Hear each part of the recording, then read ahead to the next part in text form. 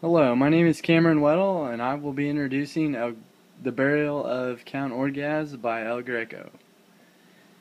This is my audience, and let's get started. Alright. This is the piece.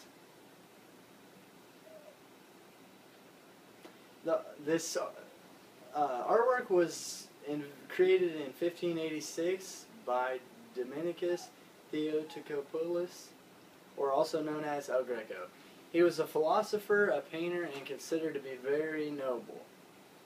He painted in the Mannerist style, and he was a native of Crete, which is a island of Greece. It was the biggest and most popular island, and he lived most of his life in Venice, which is northeast of Italy. Mannerism. It is a style that veered to an anti-humanistic view of the world. Is based on the self-conscious or the manner.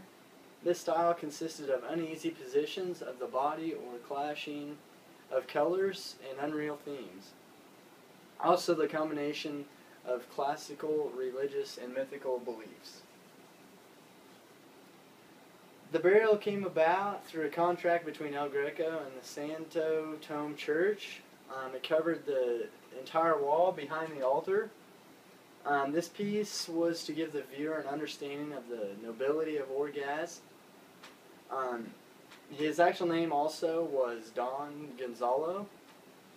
Uh, it was created. Cre it was created on a large canvas using oil-based paint. His techniques consisted of action, distorted figures, and shocking color that are all manneristic, mannerist characteristics. He used sharp lines and luminous color to direct the attention of the viewer upward. The upper scene immortalizes the people that were actually at the funeral in the lower scene. The middle area portrays perfect geometrically ordered scene which is important in drawing the both scenes together into one piece, one artwork. This masterpiece was is still today compared to El Greco's similar was and still is today compared to El Greco's similar works and paintings around the world. The burial's religious based exemplifies the counter-reformation and mythical spirituality with which El Greco's name is often associated with. Since El Greco includes, included noblemen of Toledo, this was a prideful work of the Santo Tome Church and the people of Toledo. El Greco did not gain any royal power with the martyrdom of St. Maurice that was denied by Philip II. He returned after this work and to Toledo and created the burial masterpiece, which he gained many commissions afterwards. The original meaning of what made this artwork famous in its time was the priest looking upward and the boy to the left pointing at the priest. The actions performed by the boy and the priest and the priest do direct the attention upward.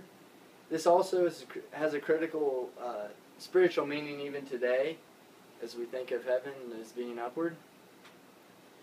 Like Michelangelo, Greco has taken a very hard compositional problem and gave a bold, comprehensive situation. Both artists use religious scenes, well-known religious scenes, to direct the attention of the main subjects using color and the stature of the surrounding subjects or people. Um, El Greco's uh, paintings directly relate to the man mannerist style, such as the Trinity um, this is a this is a uh, picture of the Trinity, which you can see that the facial expressions are not uneasy, and the instability of the posture. He was informed on many details about how the bur burial was created, um, which would have been a very hard task for its time. Um, this is probably this is why he created two scenes um, the people never grew tired of the artwork just because it was a lot of uh, noble people of Toledo that were seen in the in the portrait. The bottom scene is portrayed through vertical and horizontal lines that show a significant truth about the funeral, while the upper scene shows elongated figures with limitless clouds that display neither scale or mass to show how far the spirit must travel into the heaven. Um, the lower scene gives a religious due to everyone directing their attention around Orgaz, while the the boy on the left and the priest are looking upward.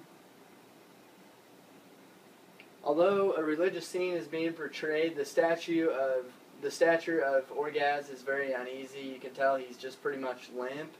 Um, he has no um, strength in his posture, which this is a mannerist mannerist uh, characteristic. He also uses dark colors, which is another characteristic to represent the instability. And this is a this is a picture of the of the uh, heaven, which also represents the mannerist uh, style due to the dark and lights used. And I'll show you my crowd again.